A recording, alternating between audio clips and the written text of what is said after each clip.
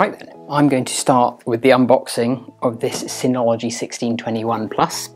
Um, I currently already own a Synology, but it has run out of disk space and is very many years old, so I have decided to go ahead and buy a replacement.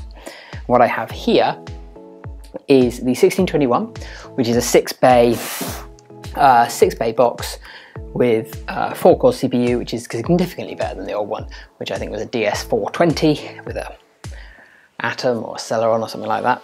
Um, so yeah, I've gone ahead, I got this. I've got two uh, 8 terabyte drives to go in this to start with. And I'm going to put another two in it next week once I have ordered them.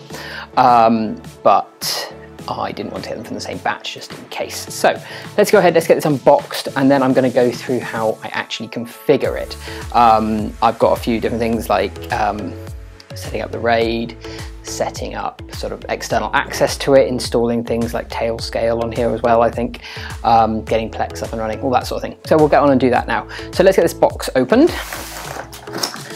So, this is the first time I've opened it. I have not opened this yet myself, so here we go.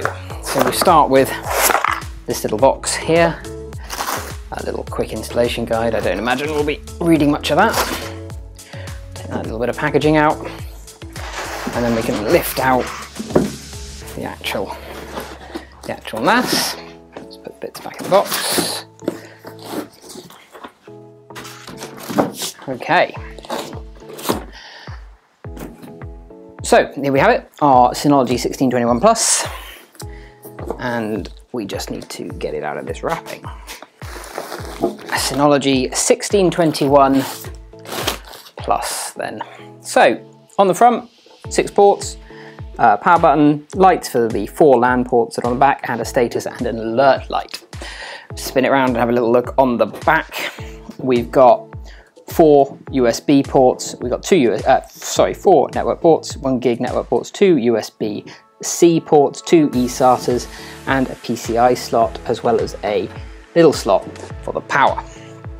So not a lot really to, to talk about on the back there. We've got a little install guide there and in this box it comes with a network cable, two network cables, um, little set of uh, little set of keys, some hard drive mounting screws, and a UK plug, but I imagine if you are not in the UK, you will get an appropriate plug. So next step, let's get this thing plugged in. Right, so I've plugged it into the power, I've plugged it into my network, and I have got its uh, setup interface open in my web browser. So first thing for us to do is just follow through these instructions and we're going to install the latest version of DSM and can acknowledge that all the data on the two disks I put into it will be erased. Now this might take, according to this, 10 minutes, so I'll probably zoom through some of this. Main thing that I have noticed already is it's quite loud when I first turned it on. I got a big puff of air and then it's calmed down a bit, but um, it's, it's certainly louder than there's a constant fan going on this one at least. It doesn't matter too much for me, I'm not going to be keeping it in my um, in my room here. I'm going to put it around with all my other network bits uh, in the utility area. Um, so that will go there and um, we won't worry too much about it. Now, um, we need to just sit back and wait, so we'll just sit here. Right, so it's now just finished that and now it says restarting. So it's going to turn off and on again, I assume, and then in a moment it's going to jump into life. Now, if my um, experience with Synology is anything to go by, it's not going to take 9 minutes and 40 seconds. It's going to be up here probably in about 20 seconds. We'll see what happens. We'll see what happens. The lights have all gone off now, so we'll, uh, we'll see what happens.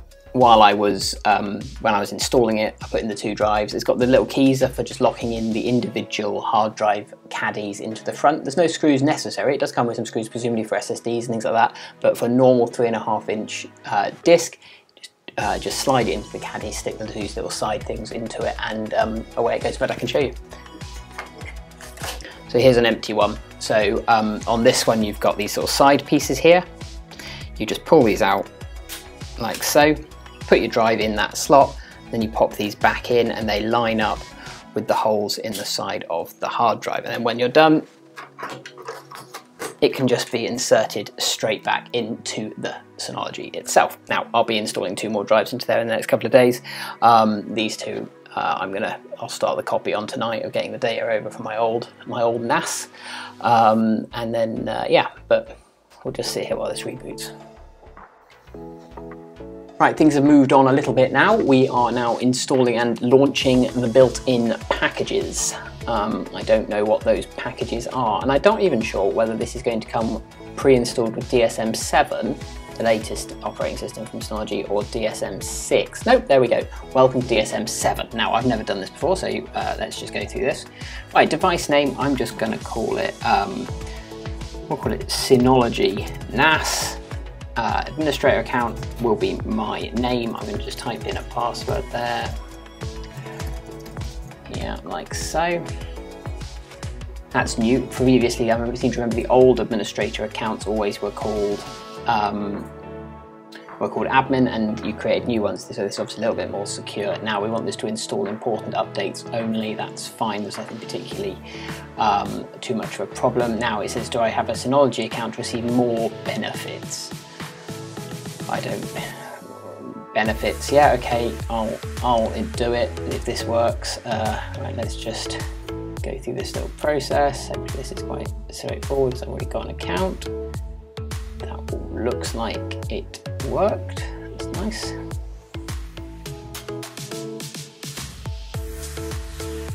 Uh, access your NAS from anywhere. Free service access notice via a custom secure address and access me files uh, wherever you are. I'm just going to skip that for now. I don't want to set that up quite yet. And I'm not going to enable um, the new Active Insight because I don't know anything about it yet.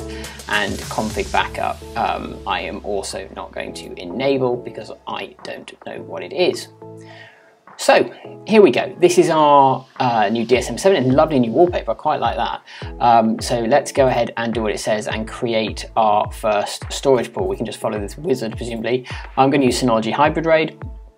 Um, I'm just going to call this um, storage pool. Oh, it says optional, we'll just leave that blank. I'm going to include both my two drives. I can hear the whole drive just shaking my desk. Uh, I'm going to skip the drive check for now for the purposes of this. Um, we'll just set this to the maximum size for now. Um, and do we want to use BTRFS or ext4? We'll stick with uh, BTRFS because that will give us snapshotting, I believe, which would be quite nice. So let's go ahead and apply those changes. Certainly making a little bit of noise next to me here.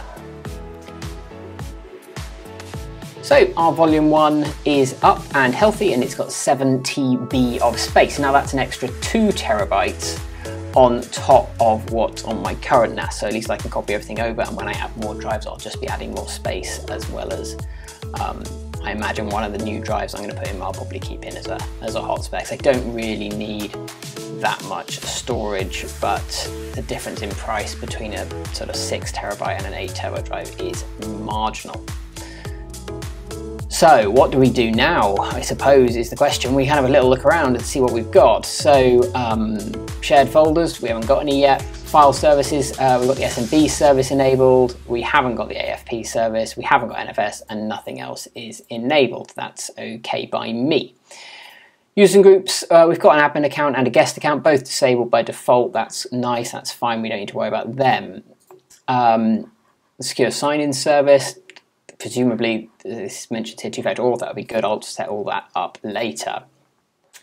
Quick Connect again, we'll come back to that, but um, I will probably look at setting up something like that at some point. But everything here is looking looking good. We've got our network interface. We're only using the first one at the moment on um, my main network. Um, I could set these up into a bond, um, but I'm this isn't currently plugged into a managed, oh, it is, but um, I'm not going to configure it on this switch right now. So I'll do that um, when it's in its final location connected to my main switch. So what else do we have? Um, nothing really, really, I don't think there's much we need to worry about in there. This is feeling quite snappy though, which is nice. So let's go ahead and look in the package center. Yeah, I've agreed to those terms. I don't know what they are and I wonder how many have read them. Probably not many. So let's see, what packages do we want to install? Well, the main package that I use quite a lot is the Synology Drive service, which is a bit like Google Drive. So let's find that. Synology Office, Synology Mail Plus, no. Is it inside Synology Office perhaps now? Or am I just being blind? Let me search. Drive, mm, Synology Drive Server, there we go. Let's go ahead, install that package. We need these two, yeah, go ahead and install those for me. Quickly get on and download these. I think it's just going to work its way through those settings on its own.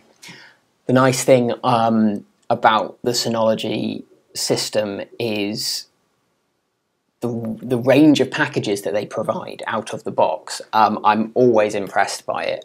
Um, they are an, a nice collection of products, and okay, they're not quite up to the, same level. In some places, there's things like Google Docs or even, and obviously Office, Office 365 or Microsoft 365, but they're, they're a good contender. They're not bad for the sort of thing I'm going to be using this for.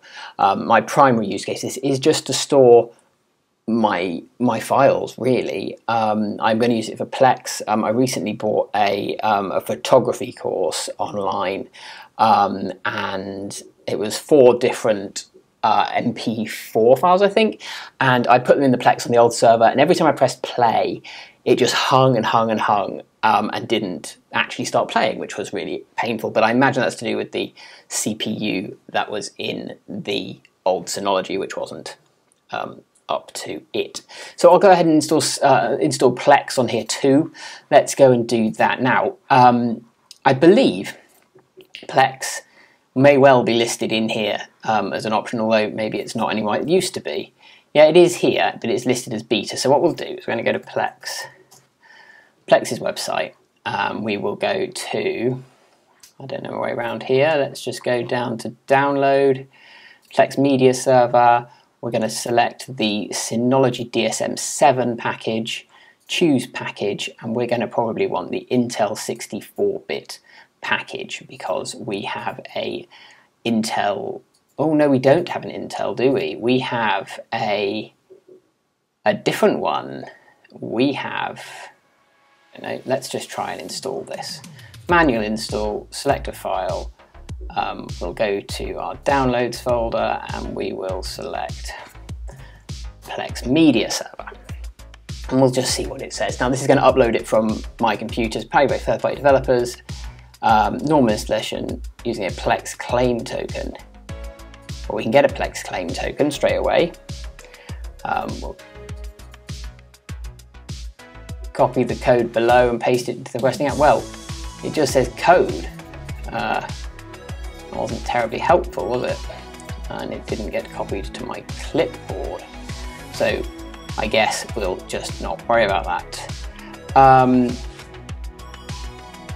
logs, you can use the internal storage, and okay, let's get on with it. Now that's a new change. Uh, when you used to install Plex, it didn't ask you any of those things. You never had option to use the claim code, and there was nothing else really there. Now, if Plex can access your media, verify okay, um, that's fine. I can check that in a minute. So let's go and see, is this running? That was fast. Um, and now we're going to sign in using our sort of single sign-on. Plex have actually got this, got this working now, which is quite nice. And that seems to be running nicely. So now our Plex is running, I'll work on copying over some data in a minute. Um, let's just check the Google, uh, not Google Drive, the Synology Drive is working. I'm not going to have any data in here yet, but yeah, this is looking looking pretty pretty rapid as well, which is which is nice to see. So that's pretty much it. That's all we need to do. I now my next job is to relocate this NAS somewhere else in the house, start a large-ish copy over from the old NAS, which will take some time. I would imagine, and that will be it. But I will probably check in again with you um, maybe subscribe, link, like, click the bell, do whatever you need to do. Um, and I may post another video with more information soon. So yeah, thank you very much for watching and uh, like and subscribe. Bye bye.